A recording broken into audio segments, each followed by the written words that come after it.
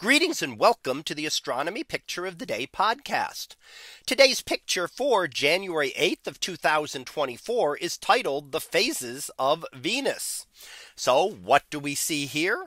Well, what we see is multiple images of the planet Venus. And Venus, much like our own moon, does go through a complete cycle of phases as it moves around the sun. Now it really depends on our positioning and the positioning of Venus and the sun, much like the moon phases do. Now this is very important. This is one of the discoveries that Galileo made back in the early 1600s with his small telescopes. Before this, you could not see Venus as a phase. You need a telescope to be able to bring it close enough in appearance to be able to distinguish between the phases. And one of the things that Galileo noted is that Venus does go through phases just like our own moon. Now, why was this so important?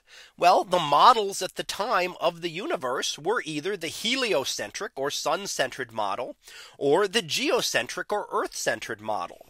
And under the geocentric model, Venus would always appear as a crescent. That would be the only way to explain its motions through the sky and its position relative to the sun. We would always have to see it as a crescent phase. However, under the heliocentric model with both Earth and Venus moving around the sun, Venus could go through a complete cycle of phases. So that was one thing that really distinguished between these two models. One model could explain the observation and one could not. So this really kind of showed that the geocentric model that had been used for over a millennium was really not correct.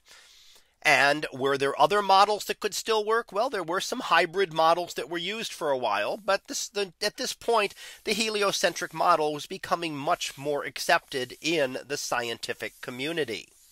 Now here we see all these different images. We can see Venus is a very thin crescent in the lower images.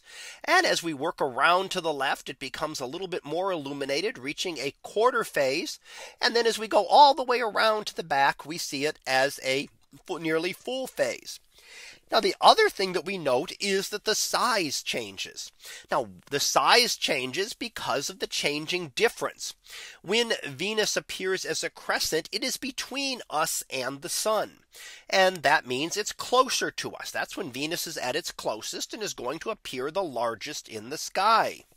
Whereas when it's uh, uh, at the largest distance, at the other side, it will be on the opposite side of the sun, much more distant from Earth, and is going to appear significantly smaller. And you can see that big difference in size between the images that we see here.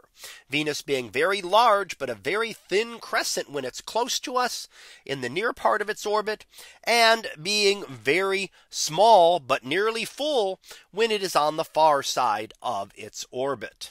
So here we see multiple images of that showing the cycle of the phases of Venus taken in 2015, but a cycle that repeats over and over again.